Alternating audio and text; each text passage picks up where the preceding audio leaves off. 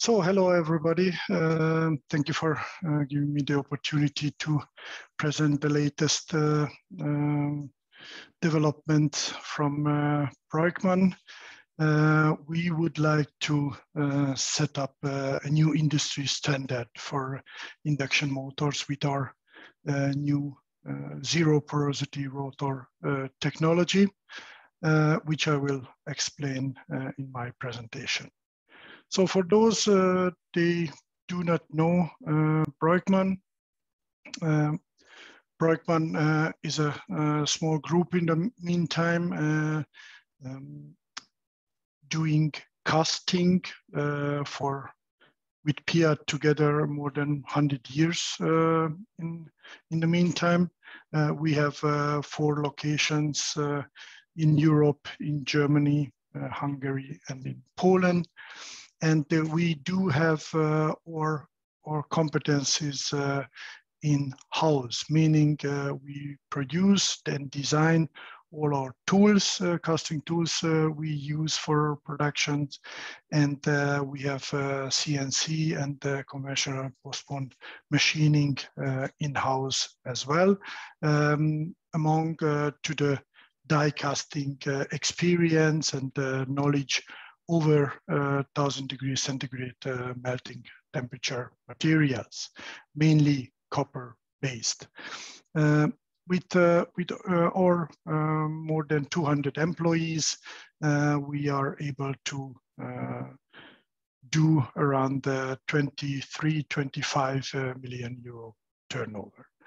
So what is uh, doing for, uh, for the electrification for the uh, electric motor uh, components and uh, what we are doing here in the uh, Copper Association workshop?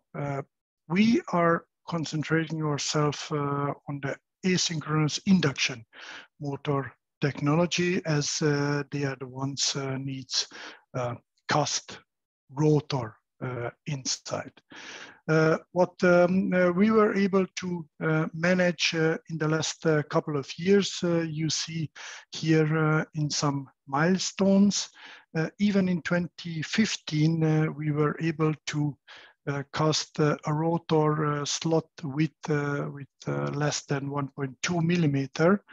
Um, at that time, we were the only one uh, from the uh, European uh, copper rotor casters, they were able to manage this kind of slot width. Uh, 2016 and uh, 2018, we have uh, further developed the technology. And um, by the end of 2018, we were able to cast even less than 0.8 millimeter slot width on a 200 millimeter rotor stack length um, I think uh, those they um, appreciate and know the, uh, the casting technologies, um, they appreciate this, uh, this kind of uh, uh, technology and uh, knowledge. for for these uh, kind of uh, uh, rotors um, and with our technology, we give a very high, a very wide freedom for the motor designers. Uh, what we give them is, as I said uh, earlier, the very tiny uh, slot uh, with a small uh, radius, radii, um, which is always an aim for, for some motor designers. we are also able to cast very special slot designs through our technology as you can see some some um, uh, examples uh, on the screen uh, here uh, they all uh, reinforce the, uh, the, the stability of of the end ring and some magnetic properties um, are improved with this slot design. What we also do is some some special Uh, reinforcement uh, of the end ring stability through the, uh, the uh, slot design with this uh, pine tree uh, slot design, or uh, we were able to uh, manage some, some copper beryllium end ring pieces to cast into the, the end ring to to make the the speed higher Uh, on uh, on those uh, induction motors we are able to um, manage uh, and uh, produce this uh, zero porosity technology and quality level on copper and in the meantime in aluminium as well. So how do we doing it and, and what is the, uh, the uh, meaning uh, ZPR behind it? we call the technology as laminar squeeze casting because we are filling the slots on a very laminar consistent basis. we have a very high pressure uh, during the casting, so it is very close to the squeeze technology, and uh, on obvious reason, this is a casting uh, technology. Uh, the standard uh, industry um, production of, a, of an induction uh, rotor, uh, you can see here on the, on the left-hand side. You can uh, also see immediately the, the problem and those they are dealing with uh, induction rotors, they know the problem with this uh, uh, technology already that uh, the porosities uh, uh, can be reduced, can be tried to pushed together, but nevertheless, you will have uh, a very high amount of uh, porosity in your uh, your rotors because you have some casting gate points, casting gate areas, um, those slots, uh, they are uh, above, immediately above uh, these casting areas, these in-gate areas.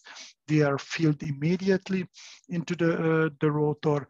Others between the two um, uh, gating areas, they are only filled with the so-called backfilling. And uh, uh, then uh, you can see that um, on areas where, where the, the slots are filled on the on the backfilling side, there can gases and air not be evacuated and not be uh, eliminated. So Breuckmann uh, uses a completely uh, different approach uh, of uh, casting the, the rotors, which uh, we developed in the last couple of years. Uh, as you can see on the on the filling simulation, and this is a, a very real simulation, the the bottom end ring is filled at the first time, and then all the slots are filled in the same time and uh, even uh, the upper end ring uh, can be um, evacuated from, from the gases and therefore the result uh, you can see on the right hand side.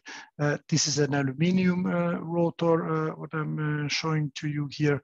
And the porosity level uh, is just not measurable. So uh, all the uh, all the, the areas uh, which we have uh, measured and CT scanned, uh, they do not have any any mentioned porosity inside. this is another picture. This is another um, uh, record of, of aluminium uh, rotors. Uh, it doesn't matter if it's the A side, the in-gate uh, side, or the B side, the, uh, the ejection uh, side of the, of the rotor. in every areas on the, on the end ring, we have not seen and you don't see any porosity. So the pictures are quite boring because there is no porosity inside.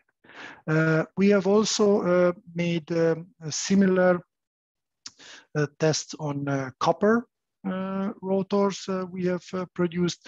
On the left-hand side, you can see a copper rotor on the same size produced by another company. on the right-hand side, it is the same rotor on the same level checked, as you can see in the middle. And you can see the difference. Uh, even the, the B side uh, uh, of this uh, rotor again, we are talking about the same uh, rotor, the same rotor size, the same uh, laminations, uh, just the, the, the casting tool is different, the casting technology is different, on the left-hand side, the industry standard. Uh, I think this is the one uh, uh, some of you uh, very well known from uh, copper casting. On the right-hand side uh, is cast by Breuckmann with the ZPR technology. And there is, again, a very boring picture. There's no porosity, no air in the end ring measurable. We have um, checked and seen uh, three major uh, advantages of the of this technology. So the question can be, why is zero porosity so relevant? Why do I need zero porosity if uh, I could uh, live with my uh, induction motors in the last decades, even with porosity? So what's the advantage of it? So the first advantage uh, is uh, uh, the mechanical uh, characteristics.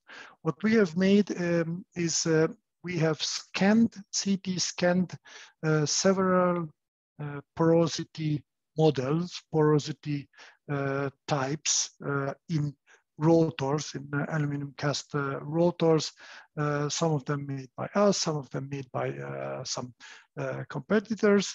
And we transferred this, this CT scan data into CAD models and uh, made uh, FEM uh, simulations. Uh, what uh, we can uh, see very clearly on, on these measurements and these simulations that the high speed, uh, the high, um, the highest uh, or the burst uh, uh circumferential uh, speed is much higher, uh, even 12.5% higher can be based on the simulation as the one with porosity. So the, the ZPR rotor had a much higher maximum speed than uh, one with, uh, with uh, middle or larger sizes of porosities. The other advantage is the higher electrical conductivity. So if you cast uh, uh, an aluminium or a copper uh, rotor on a standard industrial normal way, as shown before, then you are mixing um, the fluid metal, the fluid uh, material uh, with air together. Due to this uh, very turbulent filling, the material mixes with air and therefore the electrical conductivity of the uh, cast material at the end uh, is much lower than uh, the melted metals at the beginning. So with aluminium, uh, you can go down to 25, 28 megasiemens per meter. Uh, with copper, you are definitely lower than 50 meter per, uh, per second. Uh, if uh, we have measured the, the rotor bars uh, and the rotor end rings electrical conductivities um, in the uh, cast rotors, we have seen that due to this very stable filling, um, due to the very low porosities, the electrical conductivity is much, much higher. It's much closer to the theoretical um, uh, conductivity of these uh, materials. So this gives you also uh, an advantage of this technology.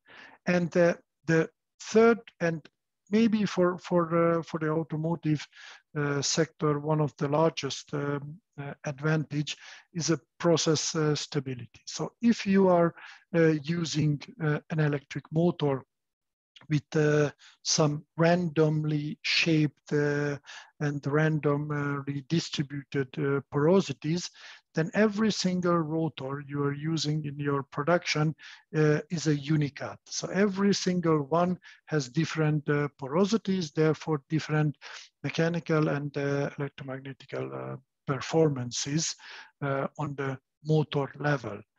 Of course, if you do not have any porosities in your rotor, then from the casting point of view, the, every single rotor has the same quality, the expected quality level, and therefore the expected and the measurable motor performance will be always the same coming from the rotor casting point of view.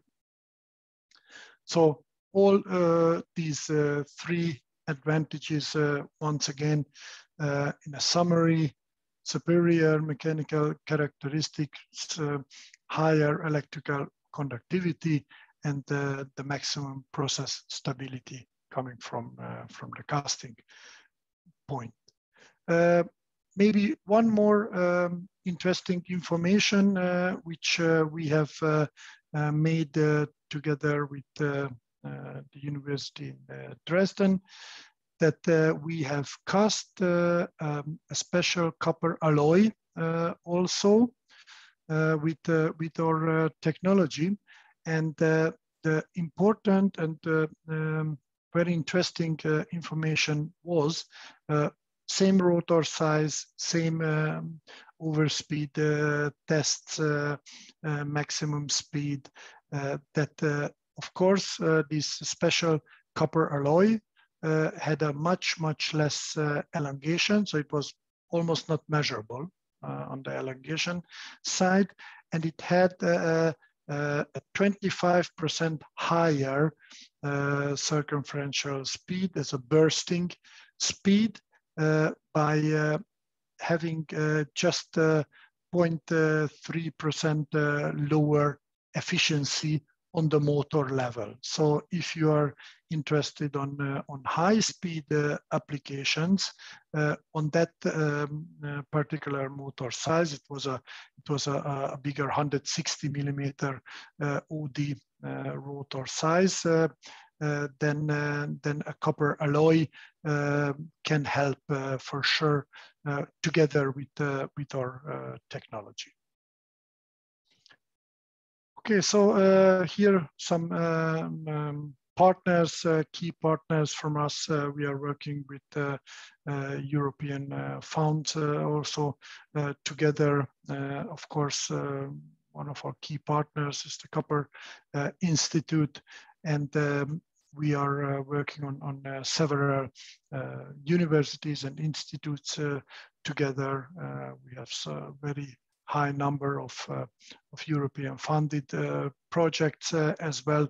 So we are very keen on, on new developments and, uh, and new uh, areas to, uh, to cover. So thank you very much for your um, time and to be able to present here. If you have any questions, I'm, I'm happy to